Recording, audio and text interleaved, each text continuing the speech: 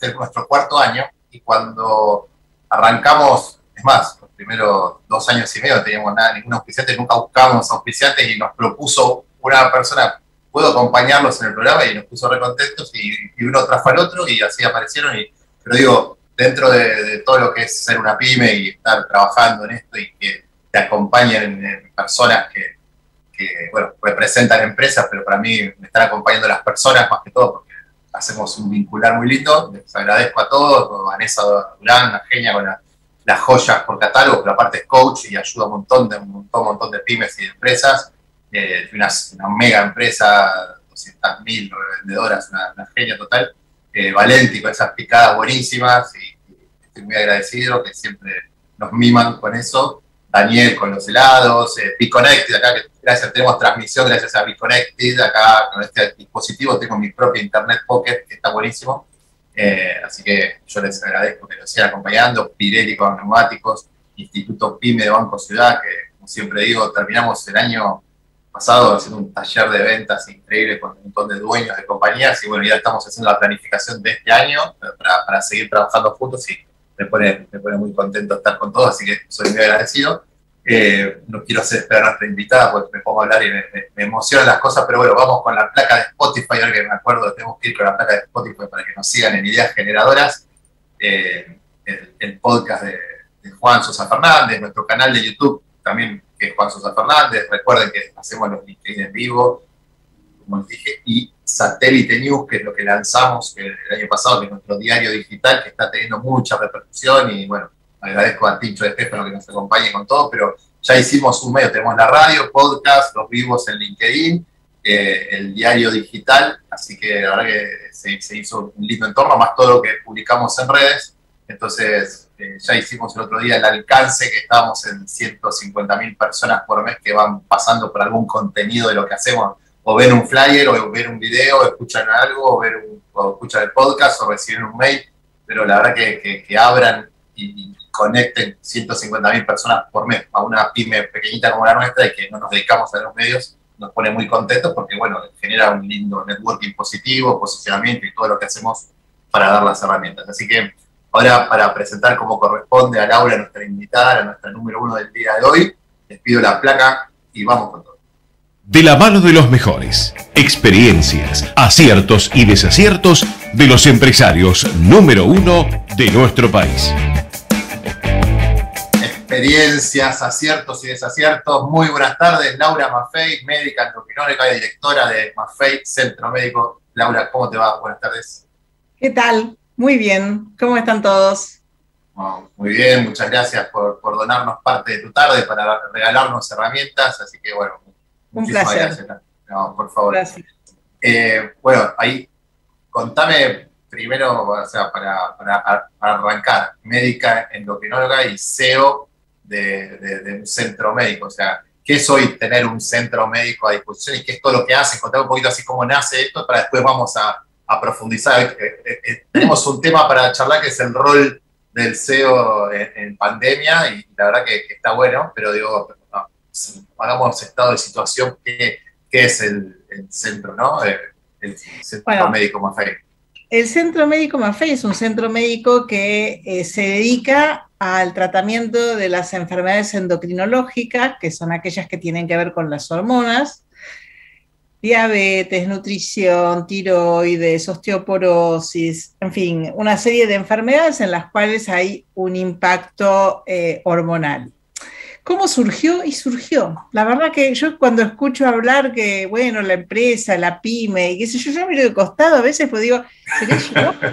que realmente, eh, realmente fue, un día descubrí que tenía una empresa, pero eh, fue un día que descubrí que tenía una empresa. Hasta ese momento no, no lo tenía tan claro. Vengo de una familia con un padre empresario, un hermano empresario, este, flotaba, pero no fue mi intención para nada desarrollar una empresa, fue creciendo, eh, conmigo muy abocada a todos los aspectos científicos, a todos los aspectos que tenían que ver con el conocimiento médico, pero creciendo, creciendo y creciendo, incorporando médicos, incorporando personal en general y desarrollando nuevas ideas y nuevas posibilidades. ¿no?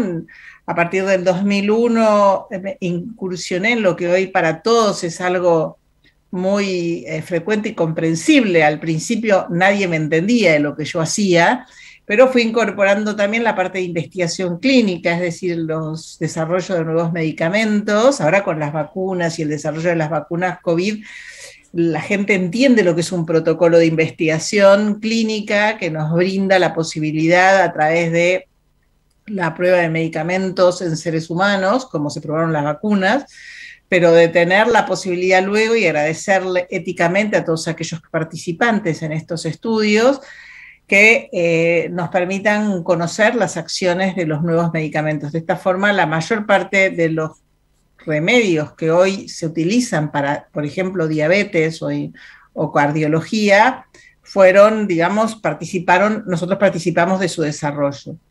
Entonces, este, y luego desde el 2015 esta parte me estoy dedicando a, también al área de estrés.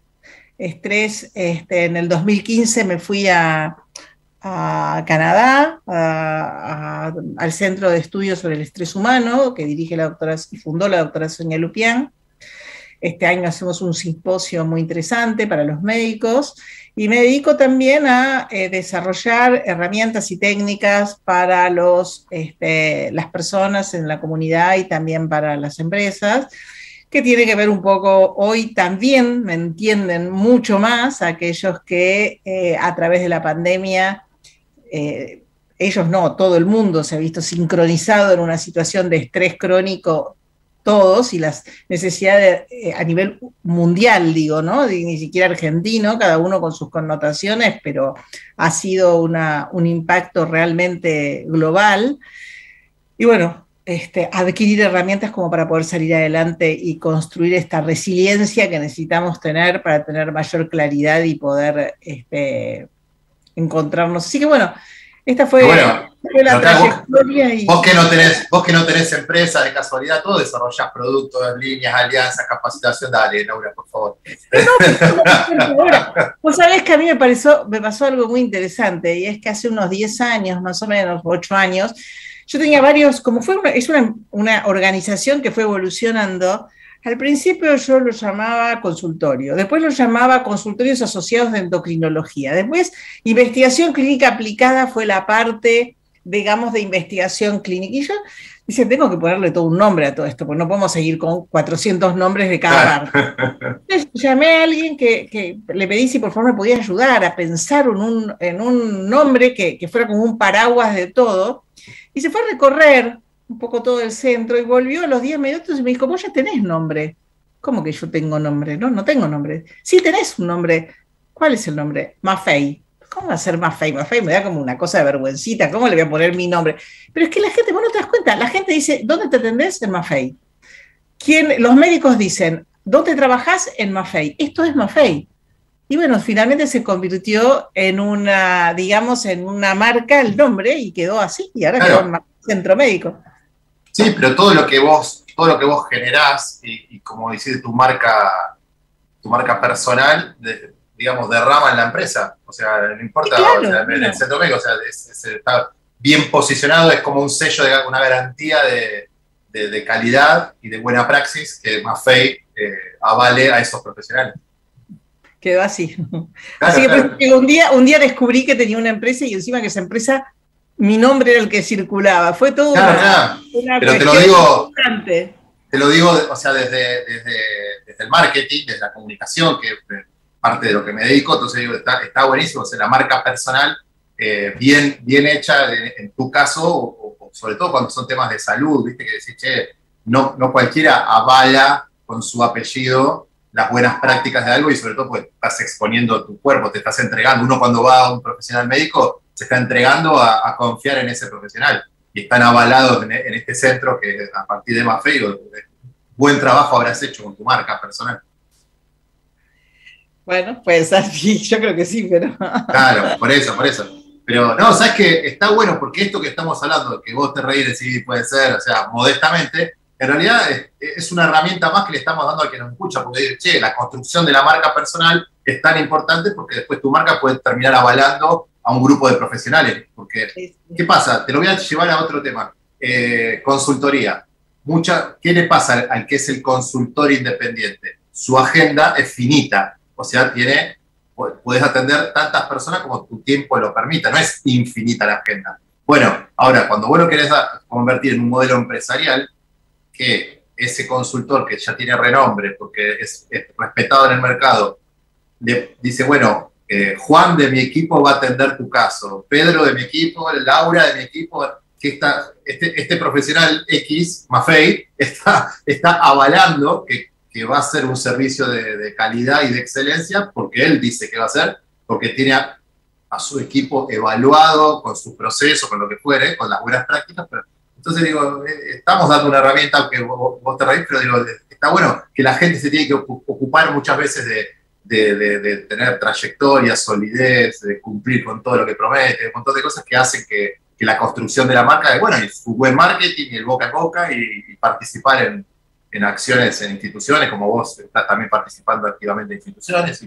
Y, bueno, eh, es una construcción que lleva años y después un segundo también tirarla abajo. Entonces está bueno que dure, que perdure y que, que lo hagamos, ¿no? Vos sabés que fue, no fue fácil, ¿no? Hace que los pacientes acepten no atenderse conmigo. Durante un tiempo prolongado yo atendí en conjunto con los médicos de mi equipo hasta que se pudo hacer la transferencia. Pero bueno, la realidad es que eh, es interesante. Yo creo que a veces miro para atrás y yo me digo, ah, la flauta, ¿no? ¿Cómo, cómo, cuántas cosas que, logramos hacer y que logramos desarrollar. Así que estoy muy contenta, la verdad que estoy, muy, estoy muy contenta y estoy bien. Muy bueno, felicitaciones. Llena, de proyectos además, muy bien. Eso, eso, no hay, que parar nunca, es mejora continua sé que el, vos cuando recién decías que estás tratando temas de, del estrés, ¿no? Para persona física, o sea, un consumidor final, digamos, o una empresa que diga para, para su persona, podría ser una venta B2C o B2B, para, por decirlo de una forma. Eh, pero desde el lado del cortisol o desde el lado psicológico, o sea, ¿qué, cómo, cómo, cómo, cómo atacan el estrés, no? Porque viste que...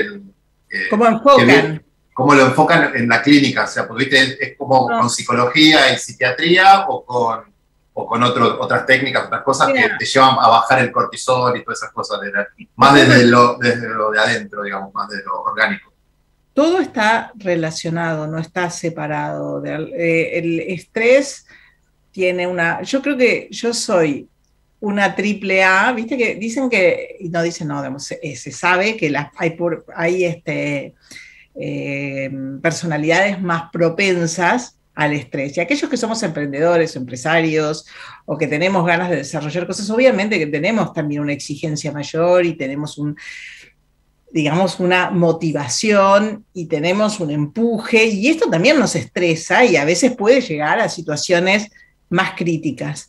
Estas personalidades cuando tienen en realidad un dejo, un dejo de hostilidad son aquellas que son las más propensas al estrés. Pero si no, uno puede decir, esas son las personalidades A. Y yo digo que yo soy triple A, como tantos otros, porque yo tengo, yo estoy permanentemente estresada, pero estresada llena de motivación, contenta, con cosas para hacer.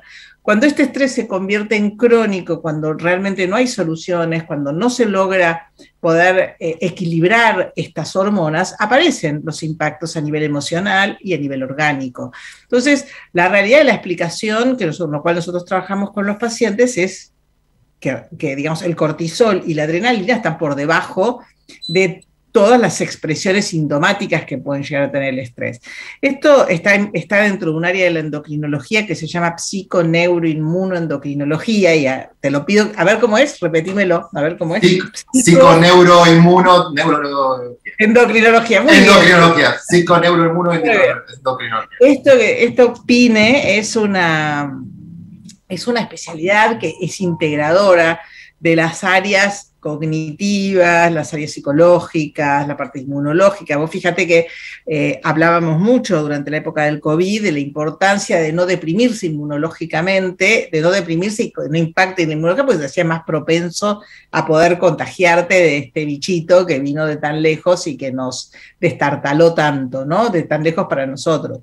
Entonces, este, nosotros tenemos que evaluar este paciente, qué herramientas necesita y si necesita un tratamiento con un enfoque más psicológico, más psiquiátrico o coaching también para poder ayudarlos a modificar estilos de vida que lo van a hacer más, eh, le va a ser más fácil gestionar estos niveles de cortisol. Así que está todo integrado. Claro, y ustedes, ustedes tratan todo en, el centro, en el centro Mafei. Si hace falta psicología, tienen psicología. Si hace falta coaching, tienen coaching. Si hace falta psiquiatría. Y si no, temas medicinales, nutrición y Nutrición también, claramente.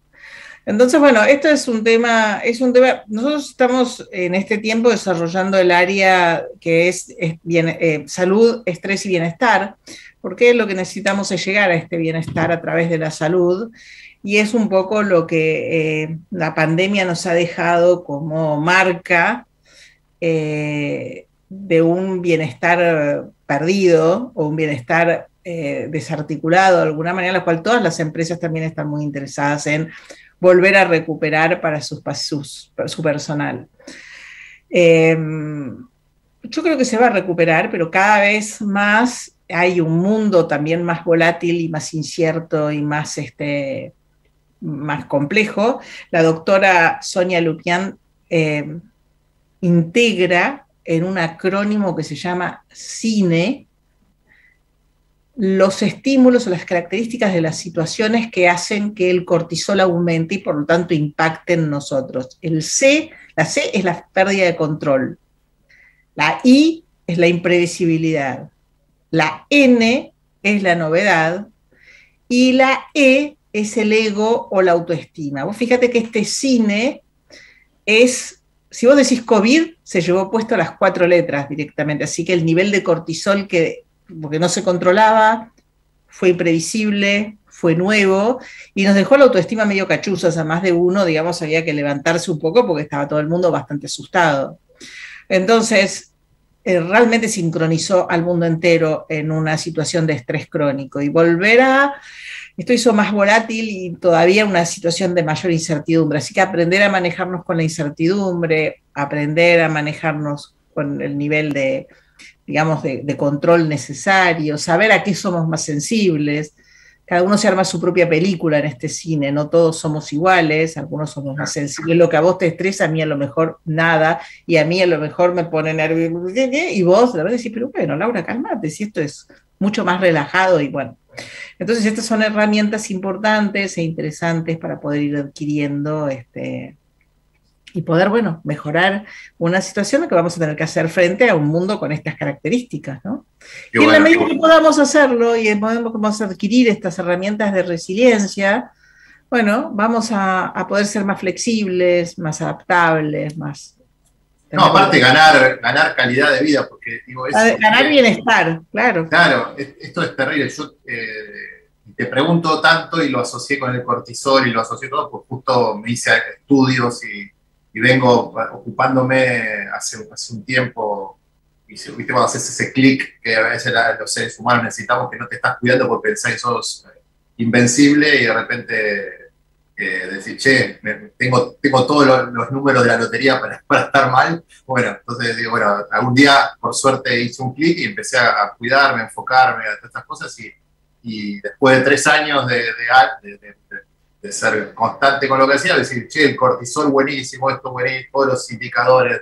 Eh, pero, y ahí me empecé a dar cuenta de cuán importante es que cada uno es, bueno, tal vez con, el, con hacer una actividad deportiva me ayudó muchísimo a bajar determinados niveles de estrés y, y reemplazar el estrés positivo que te provoca entrenar y cansarte, pero en realidad era positivo porque el corazón, las arterias, esto, la presión arterial, todo cómo va bajando más allá de la buena nutrición y, y vos decís, bueno, todo un trabajo que, como te digo, ya voy tres años, que acabo de cumplir tres años de eso el 2 de febrero, y decís, che, pero esto es como cómo va haciendo, y por eso escucho tus palabras, digo, qué importante tener un centro, y no te estoy tirando flores, sino que qué bueno que, pues yo no sabía que, hacía lo del estrés, no lo, no lo, había leído tampoco, sí lo de endocrinología, todo esto, pero digo, qué bueno porque tener en un lugar que vos puedas entrar y que te, que te atiendas lo que haga falta, porque a veces necesitas coaching, a veces necesitas eh, psicología y psiquiatría, y a veces necesitas, eh, bueno, otro tipo de con la nutrición y un cuidado deportivo y lo que sea, porque todos somos diferentes y, a todos nos viene bien algo. O sea, entonces digo, qué interesante y que, bueno, felicitaciones, pero qué bueno tenerlo como algo eh, eh, centralizado. Te voy a recomendar un buen libro. Alicia, en el País del Estrés. Ese lo escribí yo. Así que lo vas a poder leerlo y te vas a enterar muy bien. Ahora le vamos a sacar eh, la segunda edición con eh, pandemia y, resiliencia. Voy a sacar la segunda edición ya de acá a poquito para que salga en forma online también. Pero bueno, eh, de una manera buena vas a encontrarte como la vida cotidiana nos lleva a estresarnos y qué es lo que nos pasa y cómo es que... Y bueno, yo creo que te vas a divertir un poco porque en realidad está hecho de manera muy, muy bueno, pero a vivir la vida de los personajes. En un momento donde yo también estaba pasando un momento difícil porque era, fue cuando fallecieron mis padres y había toda una cuestión compleja. Y bueno, la verdad que de golpe empezar a escribir sobre cómo es nuestra vida, lo cotidiano, lo que sucede, que tiene toda una ciencia explicándonos detrás qué es lo que hay, pero bueno, viste que todos al final lo estamos viviendo y transitando y todos salimos adelante de estos momentos y, bueno, cómo, qué herramientas utilizamos. Así que bueno, yo te lo recomiendo. Dicen que sí, sí. Pero, bueno, la, autora tal vez ahora la conozco y, está bueno para que después hagamos, cuando vas a lanzar la segunda edición, que, incluirnos en tu lanzamiento como la radio, como lo de LinkedIn, que todo está bueno para divulgar y obviamente de te estoy invitando, o sea, no, no, te estoy diciendo incluirnos comercialmente, o sea, te estoy diciendo, o sea, a Dolores, ¿no? O sea, para, démosle difusión y hagamos un LinkedIn en vivo, no sé cuándo lo pensás lanzar, pero podés charlar porque el LinkedIn está bueno. Lo tengo que entregar a fin de febrero, así que yo calculo que entre marzo y abril este, la gente de Albatros, que, que es quienes están, quienes publicaron la primera edición, van a... Qué bueno.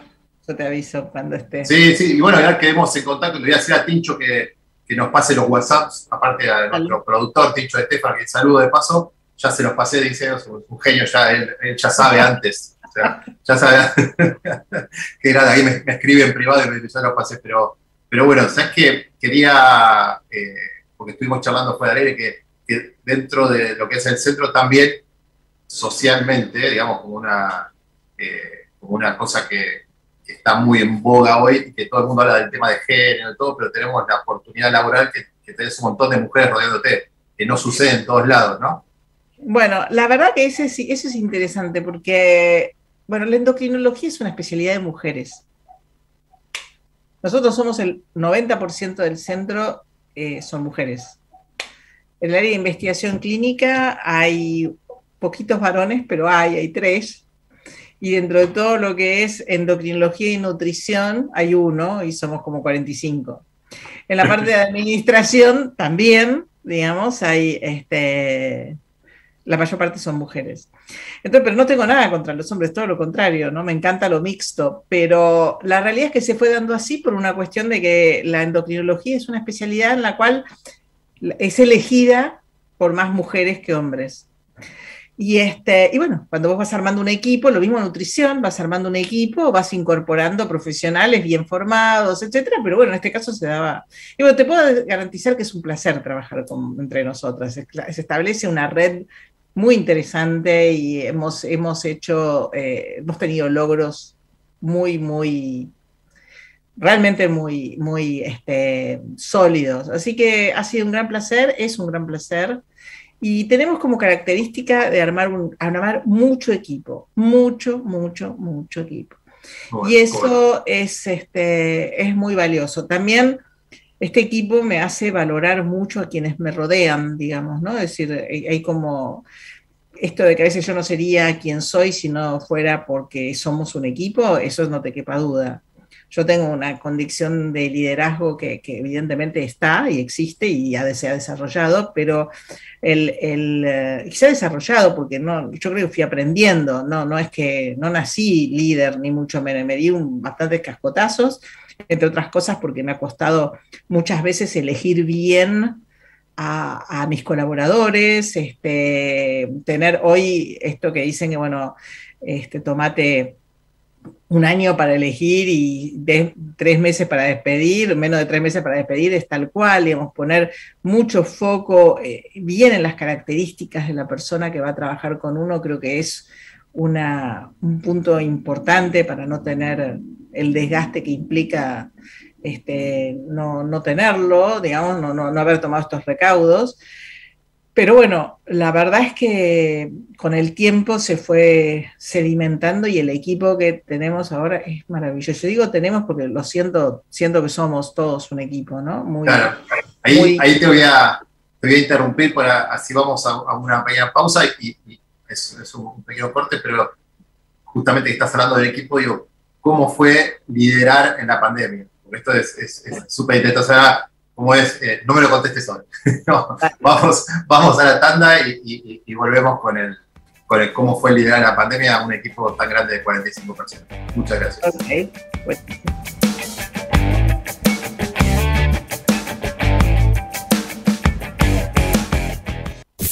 Desde Buenos Aires, transmite LRI 224, AM 1220, Ecomedios Ecomedios y los números de la suerte y los resultados de las quinielas recién sorteadas. A la cabeza en la ciudad, 2518. En la provincia, 2133. En Córdoba, 0225. En Santa Fe, 7639. En Montevideo, a las 3 de la tarde, 7068. Y en Entre Ríos, 9808. Auspiciado por Barcacha, tortas y helados todo el año, Rivadavia 2030. Mezquita Hermanos, Cristales Antiasalto de Alcina 2501. Confidería San José, Alberdi Murguiondo Mataderos. Fueron los números de la suerte por Ecomedios AM 1220. Volvemos después de la última, 21 a 30 minutos.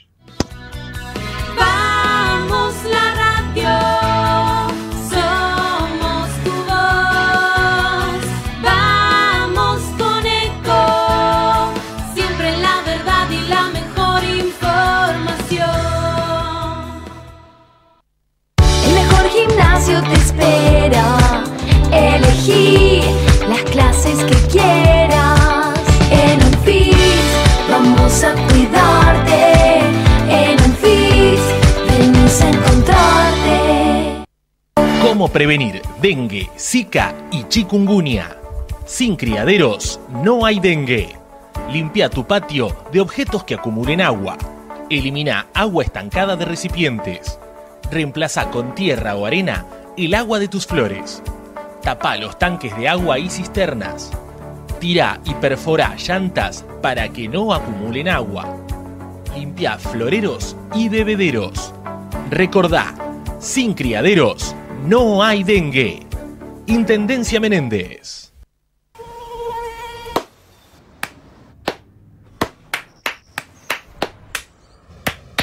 No aplaudamos al mosquito, combatámoslo en serio.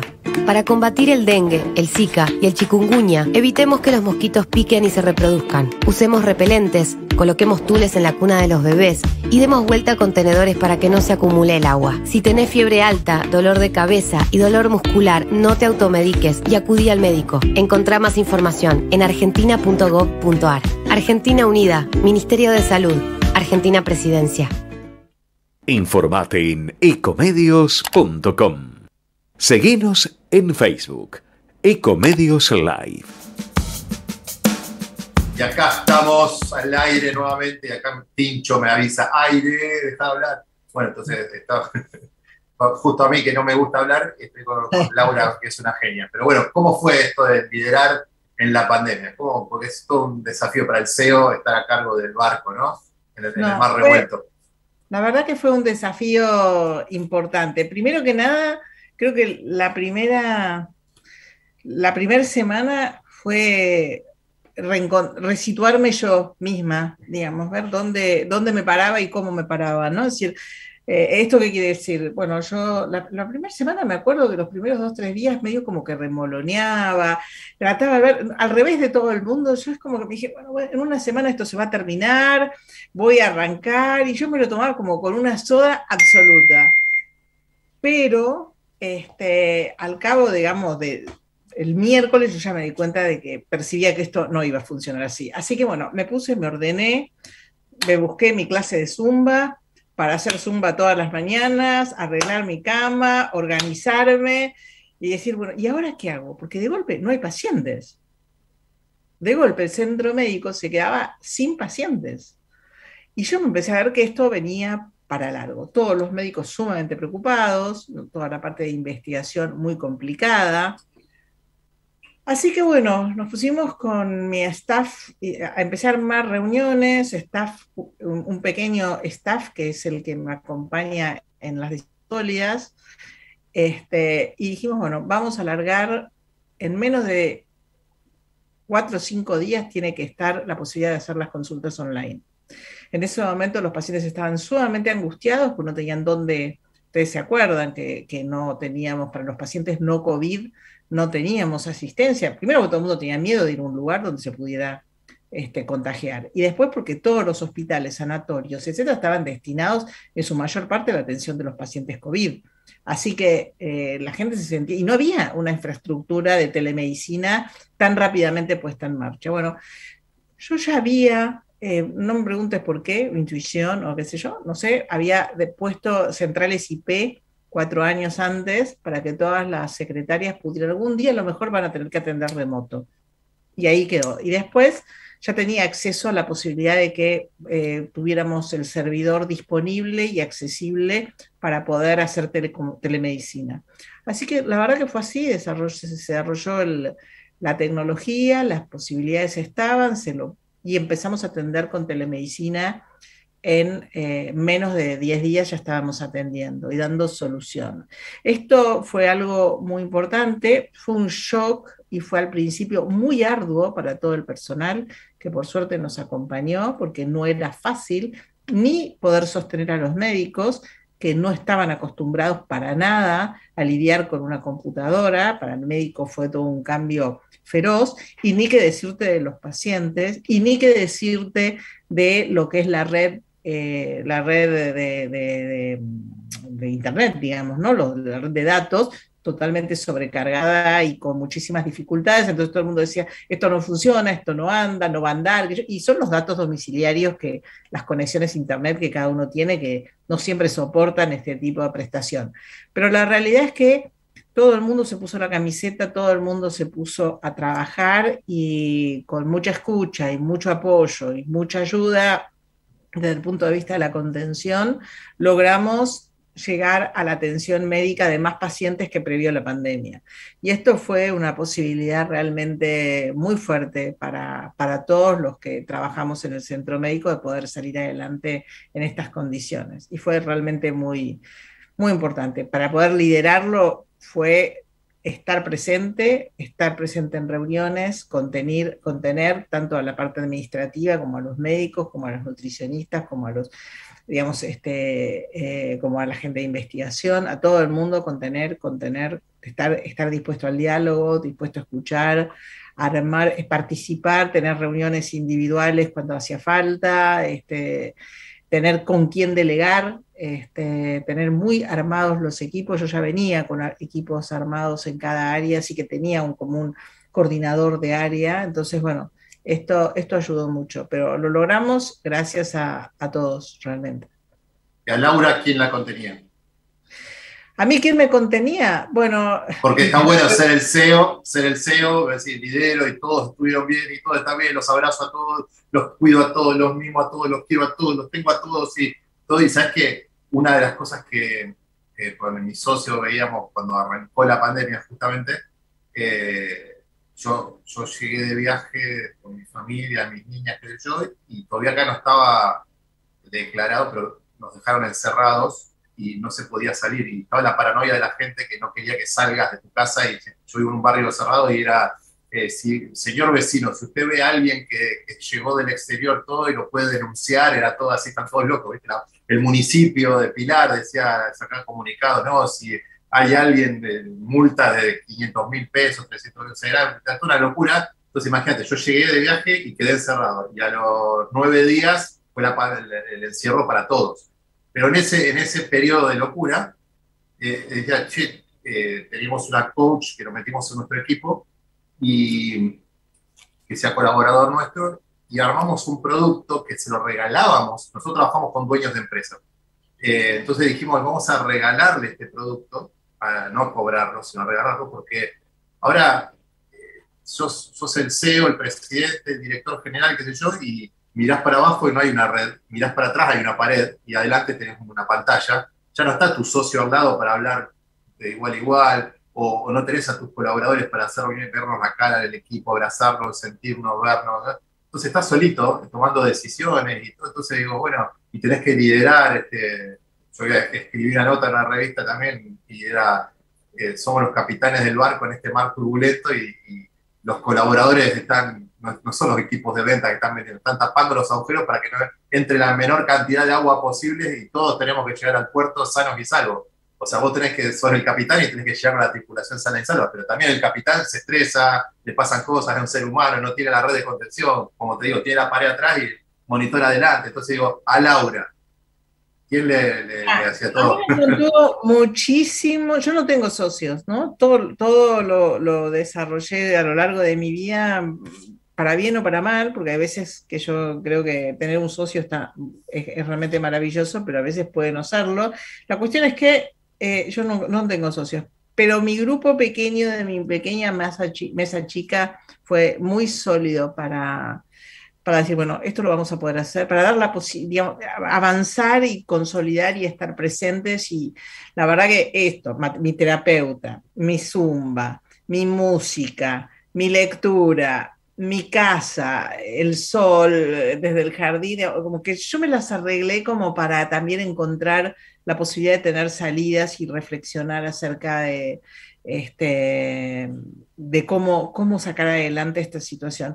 La verdad que yo no, tengo un recuerdo, em, yo tengo un recuerdo creativo, yo tengo un recuerdo que yo puse, pude ponerme para adelante, que, y esto se pudo hacer porque tuve un equipo que podía dar adelante. A mí lo que me contuvo fue el encontrar la salida, el plan A, B, C, bueno, llegar a encontrar el plan para poder salir y ver cómo la gente se ponía a tiro como para decir, lo vamos a sacar adelante. Y no siempre la pasaban bien del todo, pero también lo encontraban lugar como para darme ánimo a mí. Así que la verdad que fue, fue muy, muy importante como experiencia y como consolidarnos realmente.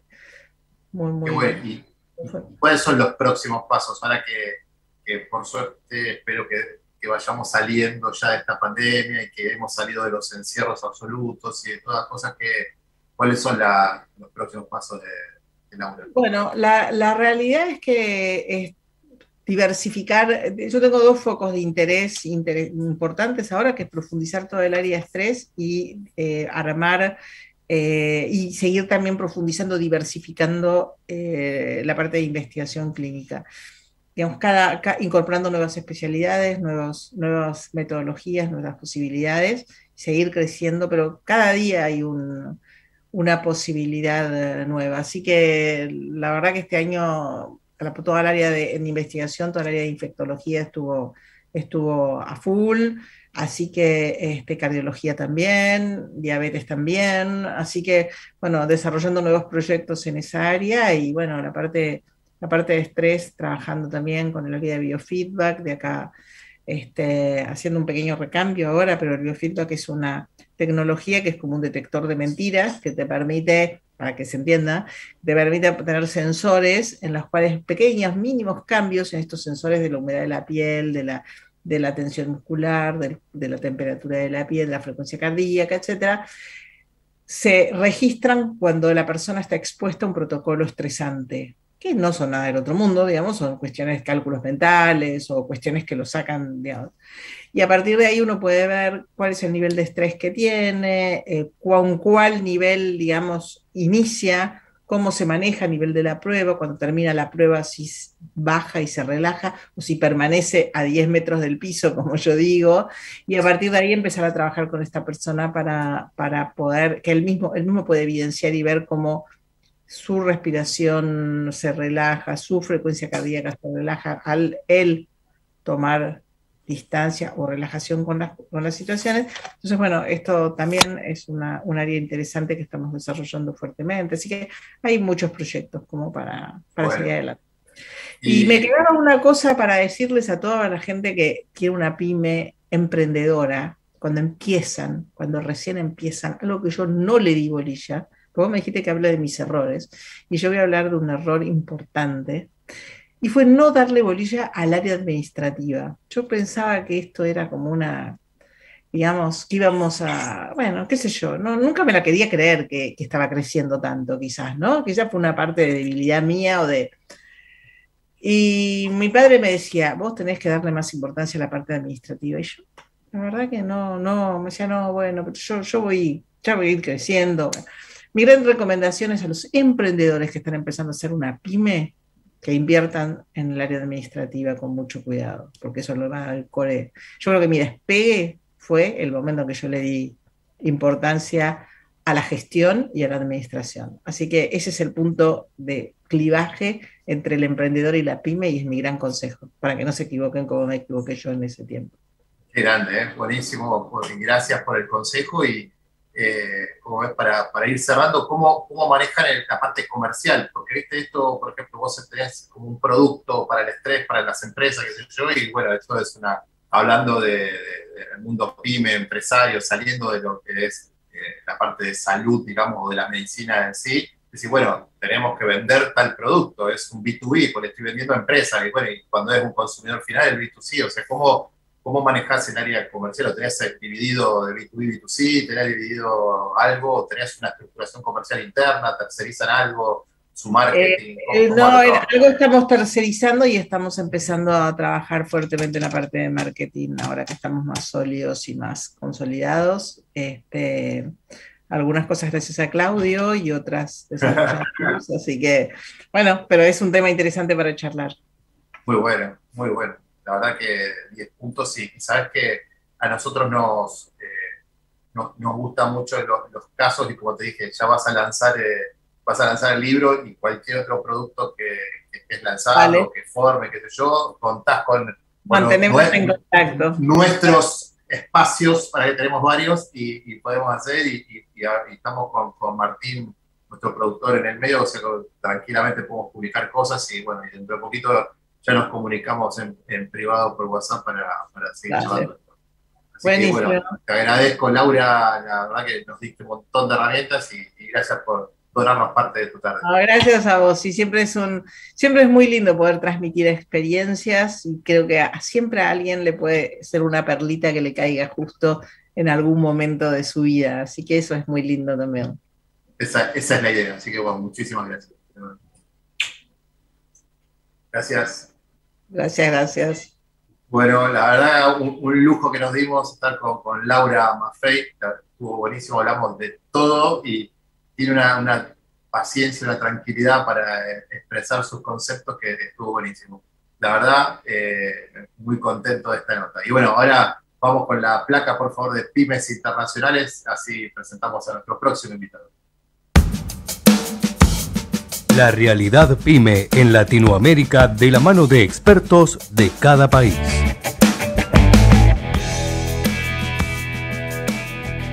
Qué grande, bueno, Ignacio Cuartino, cofundador de AD Comunicación. ¿Cómo estás, Ignacio? Muy buenas tardes, de Uruguay. ¿Cómo andás, Juan? Un gusto encontrarnos. Sí, sí, la verdad que siempre nos, nos, nos están acompañando desde el año pasado y siempre con la, con la actualidad del mundo de los negocios en Uruguay, así que cómo, cómo, cómo viene este tema, cómo viene ahora que estamos saliendo por la temporada alta para ustedes, es más eh, en Uruguay, ¿no? Es más el mes de enero, la primera quincena de enero o la primera semana, siempre cada vez más corta la semana. Cada vez es más corta y, y, cada vez se, se, anticipa más. Es la última de diciembre y la primera de enero, que coincide con lo que es rebelión, ¿no? En los últimos días de Brasil, eh, el turismo brasileño es muy fuerte en, en esa época, más de los argentinos argentinos más, con, más constante. Los brasileños eh, nos visitan, sobre todo Punta del Este, últimos días después de Navidad de, de, del año y, y, ven el, comienza, el comienzo del año nuevo, lo hacen siempre en, en Punta del Este. Estamos hablando de una masa muy importante en lo que tiene que ver con el poder adquisitivo. Mucha gente mueve el amperímetro. Los brasileños alquilan paradores, para tener su fiesta de fin de año, todo en, en, grupos propios, ¿no? En la comunidad de San Pablo, todo lo que tiene que ver Río Grande do Sur, Porto, Porto Alegre. Y todavía hay una cifra que es impactante en ese sentido. Yo tuve la oportunidad de ir a, a Gramado en, en, pleno septiembre y conocí mucho, mucho turista que uno no estaba acostumbrado a lidiar con ese tipo de, turi de turista brasileño que, que, son los que suelen visitar eh, Punta del Este, y nos decían que hay entre paulistas eh, y gaullos, estamos hablando de 5 millones de personas que, de millonarios, que todavía no conocen Punta del Este, no saben lo que es Punta del Este. Entonces, como una, estamos hablando de un número muy alto, ¿no? Claro. No tienen la oportunidad, no, no hay una difusión, no hay, no hay una cultura, o sea que el potencial que puede tener Brasil y ese público con nivel adquisitivo alto, todavía eh, queda mucho para explotar, ¿no? Eh, sí, sí, aparte 5 millones es un, es un, número y solo de un país. Estamos hablando de millones, es, es un número altísimo, es impactante. Y, y, siempre me quedó grabado eso. Hay acciones puntuales, después vino la pandemia, yo estoy hablando de este viaje lo hice en 2018, o sea, fueron claro. dos años y, y, y cambió la matriz, se formateó todo. Eh, pero, pero bueno, siempre para tenerlo en cuenta, nosotros los uruguayos somos muy rioplatenses, digamos, sobre todo lo que vivimos en, Montevideo, estamos en Punta Este, siempre estamos viendo Argentina, pero no tenemos noción de las oportunidades que hay en, Brasil. Hay gente que sí lo sabe, obviamente, y, hay inversiones importantes, el Hotel Fasano, eh, suele, eh, por dar una inversión importante, que vienen gente paulista puntualmente. Ahora hubo una, una polémica en, estaba circulando una lancha eh, que con una combustión media polémica era, y, y, se le atribuye de que es el Hotel Fasano, que lleva ah. a, turistas. Este, me estaban justo ahora comentando, eh, estamos en febrero y ya los eventos eh, bajaron un poco ¿no? en, en, lo que tiene que ver con, con Punta del Este y, y, se van viendo temas más de coyuntura de lo que tiene que ver con la, la convivencia, de cómo, ¿no? de temas informativos, en algún, algún caso de inseguridad. Eh, estos, en estas horas están hablando de que golpearon a un chico eh, en el barrio Pinares, en Punta del Este, que lo confundieron con un ladrón y era un vecino de 18 años. Este, bueno, la, polémica se está centrando en eso. Ya no hay tanta dinámica en lo que tiene que ver con reuniones sociales o grandes eventos de, de marcas, ¿no? Lo que, lo que decíamos, la última semana de, de, de, diciembre, la primera de enero es la, la, que es más fuerte, claro. la que mejor se trabajó y hay preocupación en el sector hotelero y de servicios porque dicen que la segunda quincena, que estaba muy bien proyectada, descendió a raíz de la, de la variante Omicron, ¿no? Y claro, febrero, Omicron y, y, febrero peor todavía, ¿no? Porque está, hasta el clima no está ayudando. El clima no está ayudando, hay expectativa por lo que pueda pasar en carnaval, es muy fuerte el carnaval, sobre todo para el turismo interno en Uruguay. Eh, es, es sagrada. En Argentina, eh, creo que los feriados de carnaval empezaron concretamente en el 2006-2007, ¿no? Ahí empezaron a hacer, eh, pero en Uruguay, carnaval se va todo Uruguay de vacaciones. El- el 20 en, este, en este caso toca el 28 y el primero, creo, ¿no? Eh, ahí se va todo eh, Uruguay de, de vacaciones y para el turismo interno es una buena oportunidad para reflotar eh, un poco lo que los números estaban dando bien alto, eh, sobre todo en la, última semana de diciembre y primera de enero, que se trabajó realmente muy bien, y el sector empresarial está, eh, sobre todo de servicios, está pidiéndole recursos o algún tipo de, de beneficio al, gobierno para eh, tratar de, de- de que los números le cierren al final de esta reactivación, que todavía está lejos de ser la misma o, o tener los mismos números que hubo en 2020, previo a la pandemia, ¿no? En el verano 2020 todavía va a tener que, que- pasar un buen tiempo para que se estabilicen las cifras y volver a la, época pre-pandemia cuando, cuando los números eran altos, por más que eh, hoy está cambiando el patrón de lo que tiene que ver con el tema de los turistas, sobre todo en Punta del Este, ya hay mucha más gente que vive todo el año, entonces eh, es como que se va nivelando, ya no, ya no se habla tanto de baja temporada, alta temporada, sí hay un pico en este tiempo, pero durante el año hay una El pico los eventos, ¿no? El pico son los eventos, digamos. El o sea, la parte, la parte del jet set, eventos y todo eso, pero después, digamos, por el turismo de, de todo el año, más la gente que vive el año. Que cada vez es que- más. Que, que cada vez más y mucho. De, de hecho, hemos, hemos echado a muchos de acá de Argentina que se fueron a vivir allá. Los espantamos y se van a vivir a, a llevar una buena vida a Uruguay. Entonces, Bueno, y hay, una gran preocupación con el tema de lo que son, hay muchas inversiones, muchos proyectos de barrios cerrados, sobre todo en la, pasando manantiales, eh, se están conociendo eh, proyectos muy ambiciosos, lo mismo también de torres, hay unos 380 mil metros cuadrados por construir, eh, eso habla a las claras que, que las inversiones siguen, pero no, no para la temporada puntualmente, sino para todo el año. O sea, Este se está convirtiendo en ciudad.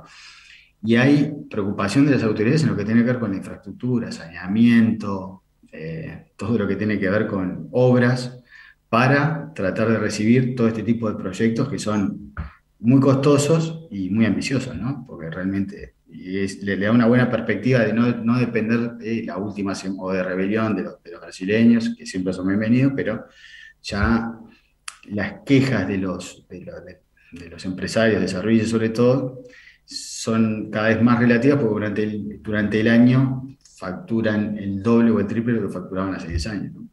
Claro. No, está, está más, más que interesante. Después para el, para el mercado, digamos, de las pymes de, Uruguay, ya sea las que están en Colonia, Montevideo, en todo, todo el Uruguay, ¿cómo, cómo lo están viendo? ¿Cómo despegándonos un poquito de lo que es turismo y lo que es eh, Punta del Este? ¿Cómo, cómo ven el, panorama? ¿Ustedes trabajan también y asesoran a empresas de ahí, no, no solamente estamos asesorando, sí, nos está yendo bastante bien, o sea, teníamos experiencia en, en el mercado, pero independientes con, con AD, y todo lo que tiene que ver con el mundo de las criptos, las fintech, están, es un, es un mercado, un rubro que está, está, está creciendo, está creciendo, está en bastante movimiento. Eh, en Punta del Este hay muchas empresas que están pidiendo para trabajar todo el año con nosotros, nos piden asesoramiento, eh, grandes eh, emprendimientos o desarrollos inmobiliarios que buscan tener cierta visibilidad, no solamente en verano en los eventos, sino eh, ir contando qué es lo que están haciendo durante, durante el año, colegios, ¿no? que, que- o sobre todo ahora ¿no? que estamos medio, medio zafral, ¿no? porque muchos toman la decisión de qué colegio mandar a sus chicos, sobre todo los que deciden irse a vivir a, a Punta del Este ahora y tienen que elegir a qué colegio tienen que llevar a, a los chicos. Hay mucho instituto ed- educativo que excede a los colegios, institutos de inglés, eh, francés, computación, cada vez eh, es un rubro que está creciendo cada vez más en Punta del Este puntualmente y también estamos teniendo, eh, nos llaman y, y- y nos, y nos convocan a ver si, si podemos trabajar con ellos. Eh, así que la verdad que esta apertura que hubo después de, la pandemia empezó a generar un movimiento que, fue bastante beneficioso ¿no? en, lo que tiene que ver con, nuestra empresa. Mucha gente que quiere comunicación, medios, tener visibilidad. En eso somos bastante fuertes, sobre todo en, sobre todo medios uruguayos. Sí, sí, obvio, obvio. Pero está bueno para, para tener la, digamos, la pyme puede contar con ustedes también, no es solamente las grandes empresas o los grandes inversores. No, eso, es lo interesante. Exactamente, son, eh, tenemos trabajos chicos, digamos, de empresas chicas y también empresas más, más ambiciosas. Eh, siempre hay un patrón de trabajo, ¿no? hay que ver un, evento puntual, se desarrolla y después siempre como mantener la estabilidad, ¿no? De, tener esa visibilidad, un continuity, ¿no? Eh, como, hacen en las, en las, agencias de medios, ¿no? Pulsing, continuity. Eh, bueno, más o menos lo mismo hacemos con la visibilidad en los medios, ¿no? somos amigos, tenemos muchos amigos por suerte y eso nos permite también tener los clientes. exactamente. y ustedes son los que abren las puertas a esa visibilidad. Así que Ignacio, la verdad que te agradezco, ahora vos también que que siempre hablamos con Pino, pero te agradezco que, nos estén acompañando y que nos estén contando de la realidad desde, Uruguay. como digo siempre, los, hermanos de Uruguay, pues estamos ahí tan, tan cerca y, a veces nos alejamos por temas de nuestros gobernantes, esas, esas pavadas que, nos, alejan.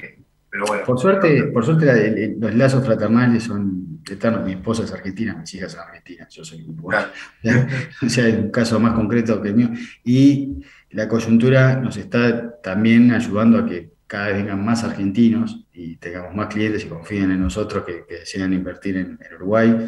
Hemos tenido a través de Claudio algunos, eh, algunos goles de Ristretter, como dice él, ¿no? De, sí, sí, sí. De networking, perdón, no de Ristretter, algunos goles de networking, eh, vinculándolos a medios y bueno, ellos contando eh, cómo expandirse y también... Las realidades de cada uno hacer un win-win, ¿no? Ah, buenísimo. Bueno, felicitaciones y nuevamente gracias por, por seguir con nosotros y, periódicamente vamos con la, con la columna desde Uruguay con ustedes. Así que muchísimas gracias por darnos herramientas, muchísimas gracias por ponernos en, autos de cómo viene la República de Uruguay. Así que a seguir con todo. Y saludos a Pío. Un gusto, Juan, que pases muy bien. Igualmente para vos. Vamos a la tanda, ya está esperando nuestro amigo desde España, no, desde España, no, desde Chile, Iván Cano. Así que después de la tanda arrancamos directo con Iván.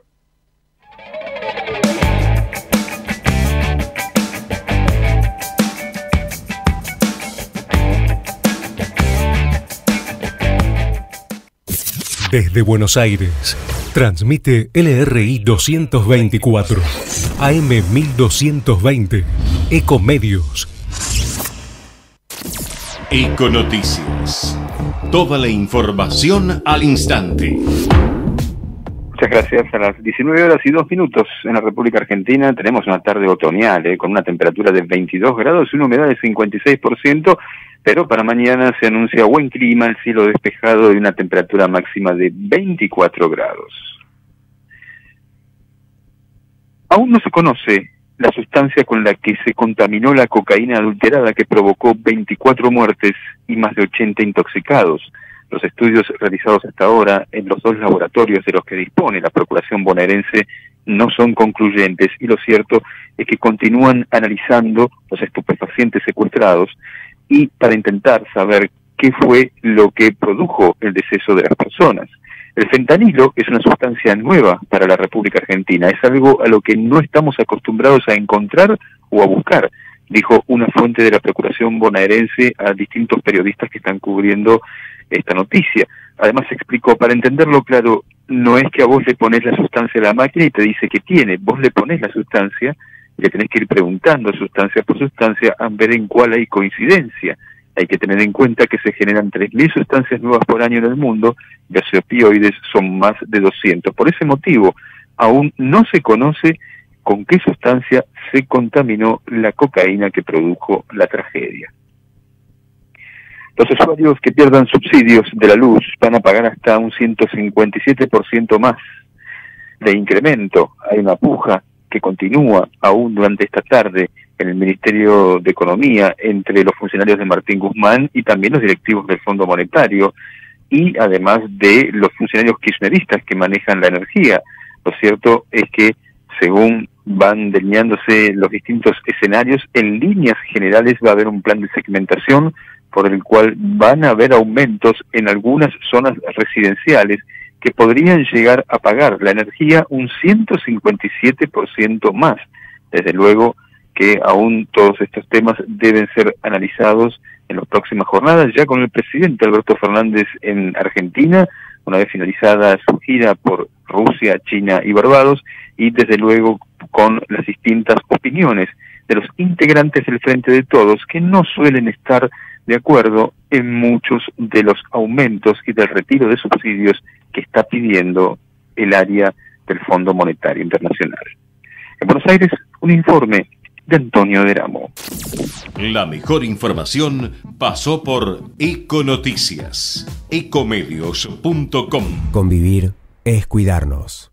Legislatura de la Ciudad Autónoma de Buenos Aires. Desde Buenos Aires, transmite LRI 224, AM 1220, Ecomedios tengo algo excelente para recomendarte. MGN Salud es una empresa de medicina que te da más servicios, más beneficios y la mejor atención. Anota, llama a MGN Salud al 4629-3351. Podés asociarte ahora y aprovechar tus aportes. Llama al 4629-3351 y asociate a MGN Salud. MGN Salud llegó para cuidarte. Superintendencia de Servicios de Salud www.sssalud.gov.ar 0800 222 72583. RENEM número 117924.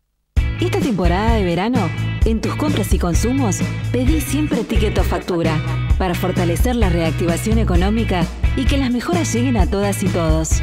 Más información en afip.gov.ar. Reconstrucción Argentina. AFIP.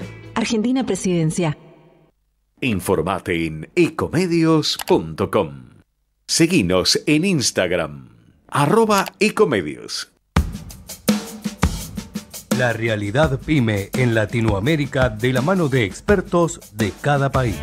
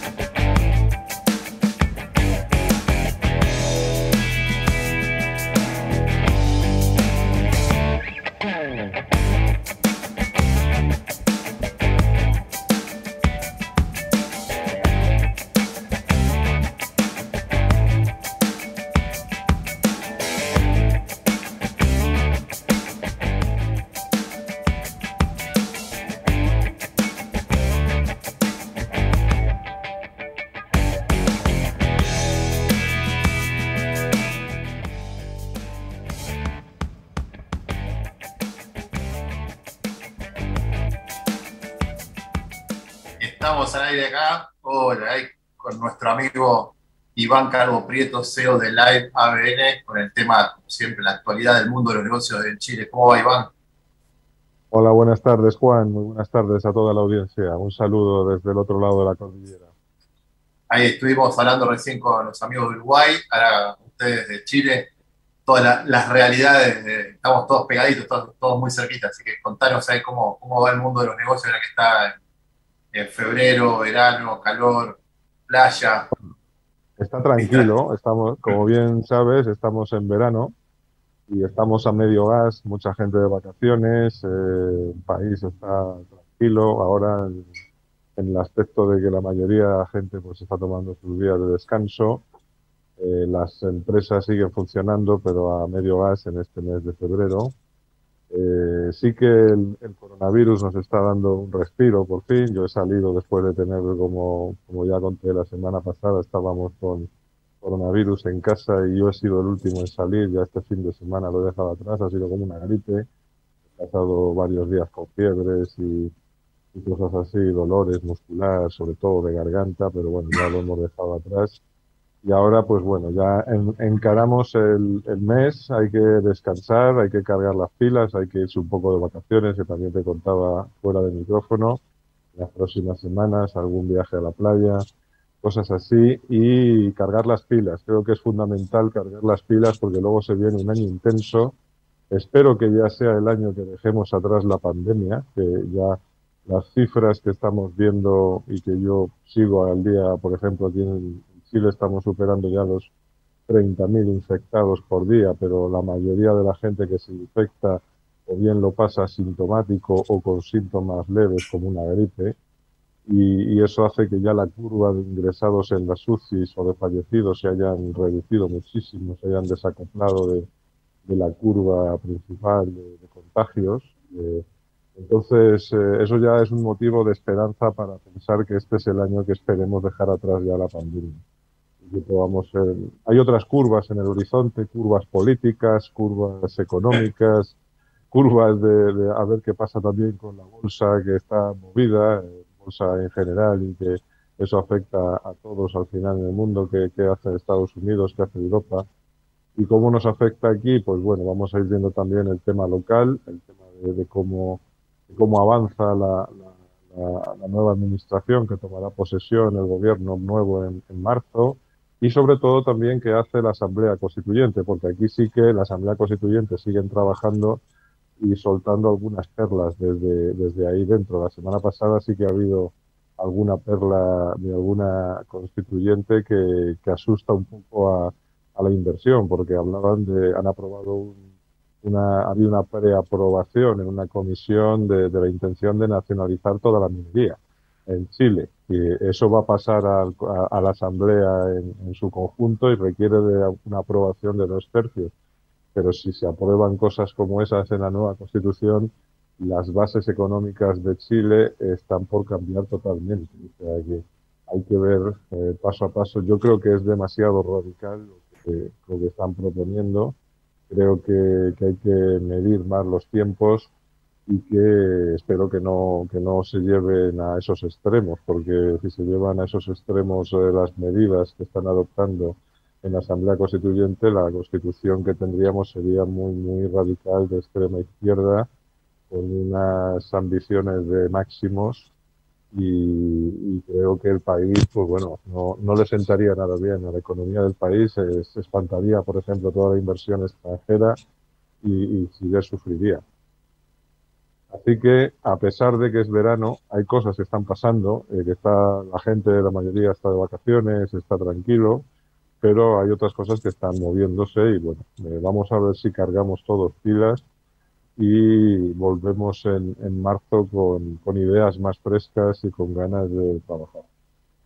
grande, así, así como corresponde. Y cuando la, la- pregunta, porque me quedó colgada de la otra vez también, vos que tenés mucho contacto directo con los dueños de las pymes, los CEO, los directores generales, eh, eh, ¿están mirando, o sea, tienen presupuestos en, en inversiones en criptomonedas, el tema de la bolsa, eh, la inflación en Estados Unidos, todo, o están más dedicados al día a día de su empresa? Viste que hay eh, acá nos toca a nosotros, por ejemplo, yo trabajo muchas pymes, con dueños de pymes y, y te digo que la verdad que eh, no- a mucho no le queda resto para la inversión en temas en activos financieros o en criptomonedas por el riesgo que puede la volatil- la volatilidad, eh, la inflación de Estados Unidos, sí, yo la entiendo, pero Juan, estoy con la realidad de mi empresa acá, la realidad del país, la realidad del dólar, tres dólares diferentes, cinco dólares diferentes. Entonces digo, ¿cómo, cómo lo manejan en, en Chile, no? La realidad de Chile en ese aspecto frente a la inflación es muy diferente a lo que tenéis de experiencia en Argentina. Chile es un país que en los últimos 30, 40 años la inflación, eh, el, año que está subiendo, por ejemplo, a un 6-7%, como es el año pasado, ya es un año excepcional. Es decir, a- a esos efectos Chile ya se podía comparar perfectamente a una economía estabilizada como la de Europa o la de Estados Unidos. Entonces Chile, el chileno no está acostumbrado a una inflación grande desde la década de los 70, o sea, tendríamos que remontarnos a la época de Salvador Allende y de la hiperinflación eh, en aquellos años 70, que luego ya se fue conteniendo en los 80 y obviamente desde los 90 en adelante ha sido bastante regulada.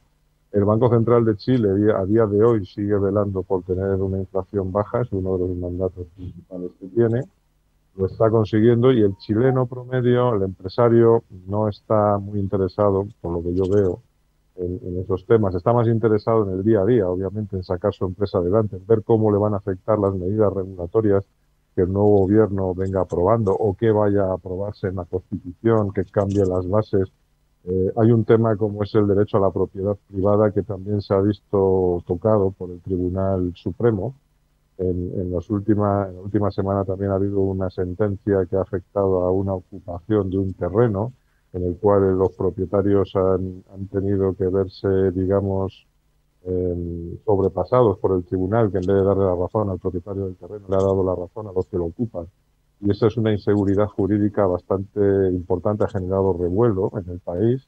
Eh, yo creo que es un mal precedente, porque esa inestabilidad también en la seguridad jurídica hace que, bueno, que, que, sea difícil saber hasta dónde va a llegar ese deterioro o si es que se va a profundizar o, o no. Entonces yo creo que el chileno está preocupado de eso, está preocupado de eso. Es verdad que lo que pase en Estados Unidos eh, o lo que pase en Europa, pues al final afecta lo que pase en China, que es el principal socio comercial. Entonces hay que tener también una antena puesto en esas caídas, como puede ser de, de la bolsa en Estados Unidos, que, que afectan a mucha gente. Está hablando de burbuja y de que esa burbuja está dando ya síntomas de agotamiento y de que en los próximos meses vamos a ver ya un ajuste. Ya lo estamos viendo, de hecho en enero ha habido una corrección importante en los índices tecnológicos y las empresas de tecnología principalmente. Eh, ¿Qué va a pasar? Pues nadie tiene una bola mágica, pero sí que hay que seguir a los que tienen las mejores, digamos, eh, eh, historiales de inversión, como por ejemplo ver lo que han hecho Warren Buffett y, la gente de, de, su empresa, de Berkshire Hathaway, que han acumulado mucha liquidez y eso es un indicador de que están esperando comprar próximamente barato. Entonces yo creo que se viene una crisis, yo creo que se viene una crisis importante económica, un ajuste. Ese ajuste va a ser mundial, va, a tener epicentro también en Estados Unidos, a Europa también afectará y hay que ver qué pasa en China que no, no tenemos cifras confiables de lo que ocurre en China. Hay un tema inmobiliario que también está allí explotando y no se sabe muy bien cómo afectará a todos. Entonces, en ese contexto de crisis hay oportunidades. Entonces, eh, tenemos que ver qué oportunidades nos dan esas crisis que se van a abrir a nivel global. Y, bueno, dentro del escenario, los, eh, las criptomonedas también de las que hablabas también han tenido una corrección muy fuerte han perdido mucho valor en, los últimos meses porque está todo muy volátil, eh, no hay lugar seguro, todo el mundo, la única estrategia segura es, siempre lo digo, hay que poner huevos en diferentes cestas, en diferentes canastos, y hay que ir viendo cómo cultivar esos huevos y pensar que las crisis van a traer siempre oportunidades, pero, pero hay que sobrevivirlas. O sea, claro, es muy bonito decir, hay muy bonito que te vaya a pegar la crisis, pero la crisis obliga a flexibilizarse, a, obliga a tener capacidades nuevas, a formarte, a, a adaptarte. ¿Y qué te voy a contar? Argentina, eh, en cuestión de crisis, sabéis mucho más que nadie. O sea, vivís con una formación continua. Tenéis, tenéis doctorado en crisis.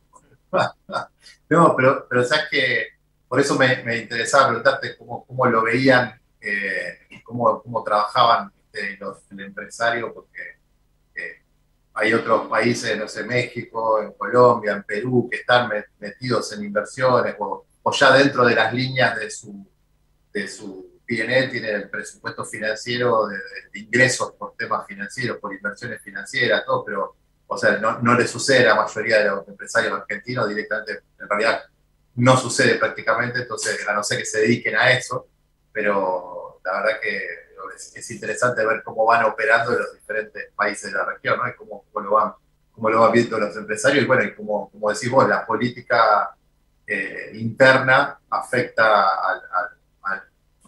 a las ganas de invertir o a la necesidad de, de, de, desarrollo de mercados de empresas que vengan de fuera, eh, después viene la, la- la- macroeconomía, la microeconomía y después las políticas de diferentes países y de los más poderosos que, que hace que tambaleemos nosotros los, que, los más pequeños. ¿no?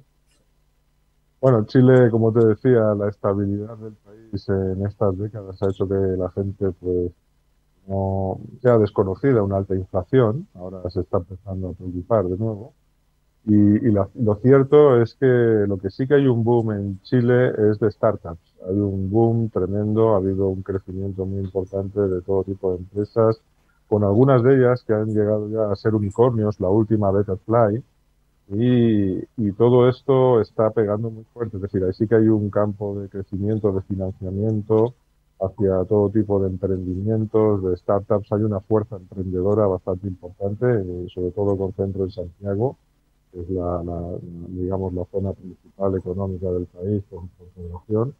Y, y sí que hay un montón de pequeñas empresas que están saliendo y saliendo además con visión regional, es decir, con, la idea de jugar un papel importante en toda Hispanoamérica y más allá incluso.